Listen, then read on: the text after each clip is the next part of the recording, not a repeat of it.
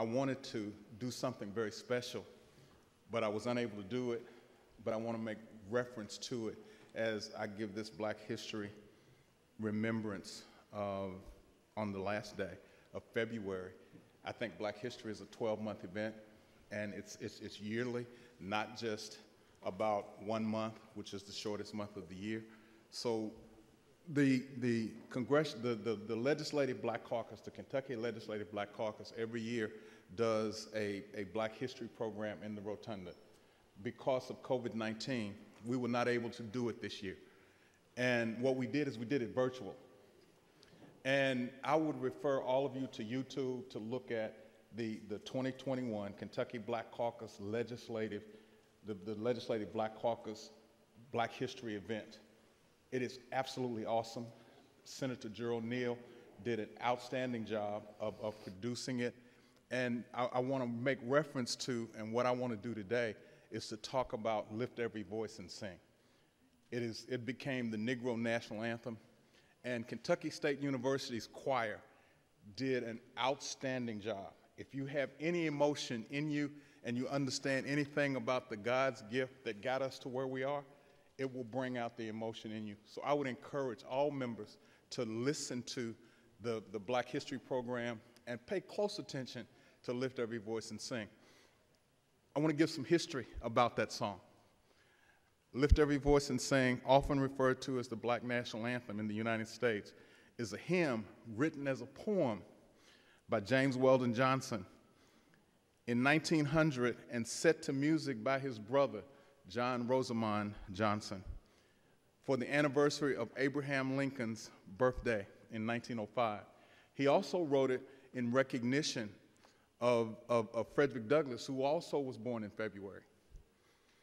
As time went on, the song became something that, that, that I think makes all the difference in the world. And I will not try to sing it for you. No, no, no, I, I will not try. I cannot do it anywhere close to justice. But, but, but what I would like to do, if you all will bear with me, is to speak to the poem, the poetic aspect of Lift Every Voice and Sing. I would like for each of you to pay very close attention to the lyrics and, and, and incorporate this into your being of understanding the struggle. Well, actually, the victory the struggle, and the faith that got people of color over in this diaspora called America.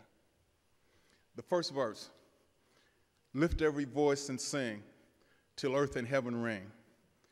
Ring with the harmonies of liberty.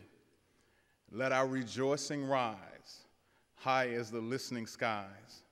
Let it resound loud as the rolling sea. Sing a song full of the faith that the dark past has taught us. Sing a song full of the hope that the present has brought us.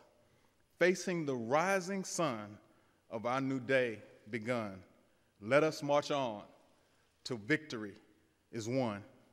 The second verse speaks of the struggle, and I, I would call your attention to the words and the pain that is in the second verse. Stony the road we trod, bitter the chastening rod. Felt in the days when hope unborn had died. Yet with a steady beat, have not our weary feet come to the place for which our fathers sighed. We have come over a way that with tears has been watered. We have come treading our path through the blood. We have come treading our path through the blood of the slaughtered. Out from the gloomy past till now we stand at last, where the white gleam of our bright star is cast. The third verse speaks to the faith.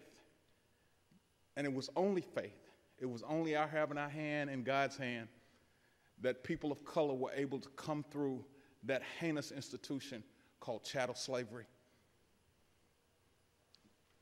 God of our weary years, God of our silent tears, Thou who hast brought us thus far on the way. Thou who hast by thy might led us into the light. Keep us forever in the path, we pray. Lest our feet stray from the path, our God, where we met thee. Lest our hearts, drunk with the wine of the world, we forget thee. Shadowed beneath thy hand, may we forever stand. I want you to remember these last two lines. True to our God, true to our native land. Thank you very much for listening and happy, happy Black History Month. And thank you all for your cooperation and your attention.